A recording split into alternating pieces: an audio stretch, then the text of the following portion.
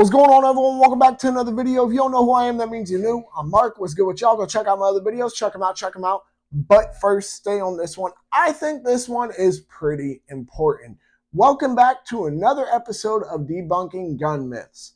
On this episode of Debunking Gun Myths, accidental discharges. That's not a thing, guys.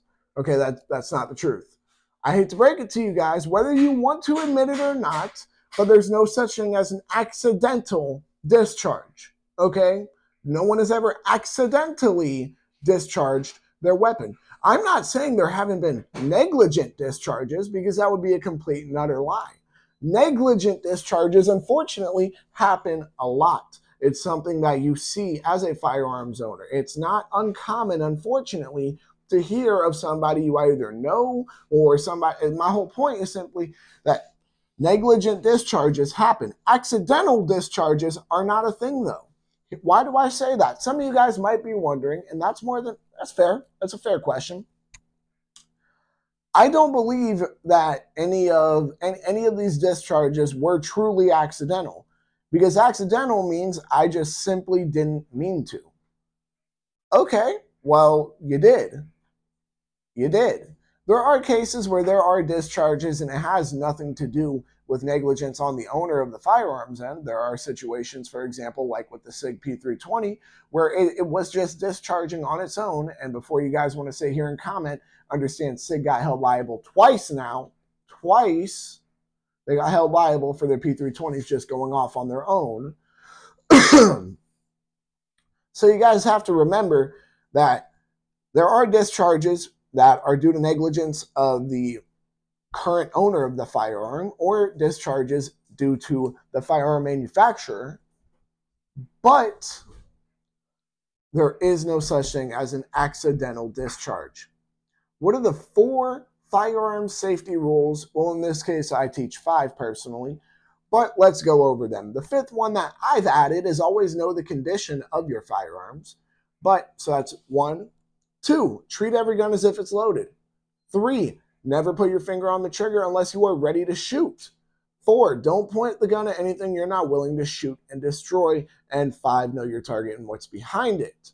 Okay, so what what would happen in this case for you to have a negligent discharge?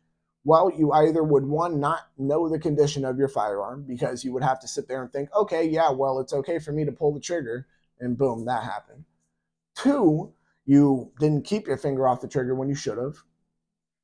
Uh, let me see here. Three, you weren't treating every gun as if it was loaded, because if it was loaded and you were treating it as such, you wouldn't have had a negligent discharge. I mean, in the end, guys, in the end, an accidental discharge is fictitious. People use the word accident to take accountability off of themselves.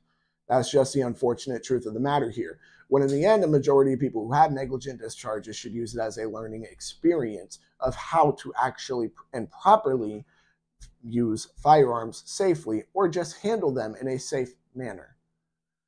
In the end, an accidental discharge is a myth. It's a myth in the gun community, but negligent discharges are very, very, very, very real. A lot of people don't understand the difference between the two. And it just boils down to the fact that in the end, some people might have subconsciously not wanted to pull the trigger, but if you had a negligent discharge, that means you pulled the trigger, so it wasn't accidental. Some people might have, you know, their shirt might have gotten uh, caught in their holster when they're reholstering. Still negligence on your end. It's not accidental. Okay, guys? negligence can't be excused when it comes to firearms. And it's a very unfortunate thing that we see nowadays where people are trying to excuse it. They're trying to just shove it under the rug. They're trying to just not shine a light on it. But in the end, it's kind of a big deal because it puts people in danger. Okay, people use the word accidental discharge simply to take accountability off of themselves or the person who has had the negligent discharge, plain and simple. While, yes, you might not have 100% wanted to pull that trigger. You pulled that trigger. Wasn't an accident because that trigger was pulled by something or someone, whether it was your finger, whether it was your shirt, all of that does indeed fall under negligence. Now, I don't want to keep going in circles in this video. I know this one isn't going to be a particularly long video, but this has to be ingrained in your guys' head. Okay? Negligent discharges, they happen. They're very unfortunate. They suck.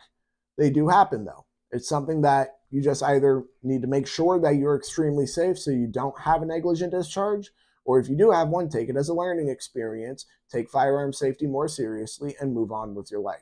Unless you got hurt or someone else got hurt, you can move on with your life at that point. But an accidental discharge is non existent, plain and simple. There's nothing accidental about it. It's all about negligence, not about an accident. Now, with that being said, I think that about wraps it up for this video. Y'all make sure to like, comment, subscribe, share, hit that bell. When you hit that bell, hit all and whether or not you agree with me, I mean, you can try to argue that accidental discharges are an actual thing. You could try to argue it, but in every sense of an argument, you, any argument you could come up with saying that accidental discharges are not a myth, in the end, I can boil it back down to negligence. Okay? I can boil it back down to negligence whether it's negligence on the owner of the firearms end or uh, or negligence. There we are. I almost said negligence or negligence from the firearm manufacturers themselves. But with that being said, y'all go and make sure to comment down below why or why not you agree with me. Make sure to check out all my other videos. I'll make sure to stay legal, stay safe, stay dangerous. Have a good one, y'all. Peace.